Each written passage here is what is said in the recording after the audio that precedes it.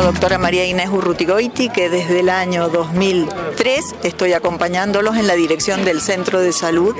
222 René Favaloro, que funciona en el Club Social y Deportivo Pedro Molina, donde en convenio con el Ministerio de Salud de la provincia y la Municipalidad de Guaymallén se comprometieron a ser la sede del Centro de Salud para nuestros vecinos de San José y Pedro Molina, que hasta ahora no se cumple. ¿Por qué estamos reunidos esta mañana acá en el club, en la salita? Porque nos hemos enterado que por decisión unilateral del señor intendente, eh, frente a las autoridades provinciales, se ha decidido sacar al centro de salud del Club Social y Deportivo Pedro Molina y trasladarlo al terreno que hoy está al lado de la Escuela Ignacio Molina, donde funciona el centro de jubilados y donde con autoridades municipales de menor rango que el señor intendente y con participación de los vecinos en la mesa de gestión y mesa de salud se había previsto la construcción del jardín maternal Cumelén que es municipal y que requería un terreno de las dimensiones de aquel predio. Eh, ¿Hace cuánto, digamos, que está funcionando la salita acá? ¿Qué inconvenientes presenta para, bueno, vos como directora de la salita, el posible traslado efectivo, digamos, de la salita hacia otro lugar? Eh, a ver, acá funcionamos desde el primero de noviembre del 2001, donde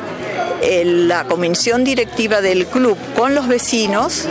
convienen con el entonces ministro de Salud y el que intendente de Guaymallén de ese momento que se en este lugar precariamente se intesaba el centro de salud para luego ocupar toda esta esquina en la construcción del centro de salud definitivo. ¿Por qué se eligió el club? Porque en el club había terreno, el club prácticamente no tenía actividad propia y eh, los vecinos de la zona tienen accesibilidad por todos lados. Piensen que nosotros tenemos un área que va desde la costanera hasta la Mitre y desde el acceso hasta la unión de la Mitre con la Matusoyo y que acá los vecinos tienen acceso por todos los medios de comunicación.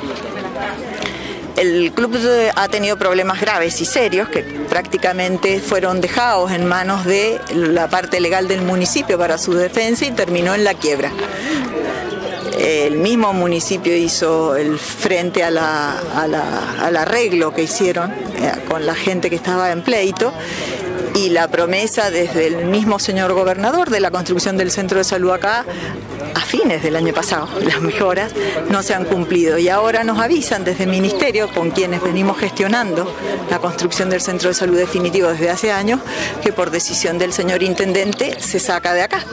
y se va al otro lado dejando a los otros sin su espacio. Entonces los mismos vecinos lo han llamado para pedirle cuenta.